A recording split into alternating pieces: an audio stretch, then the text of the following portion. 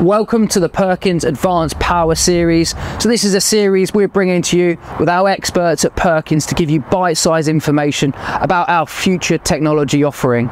So the energy transition is really causing challenges within the off-highway industry and we're looking at solutions that are available for different markets, for different application types to make sure we've got the right product for you in the future.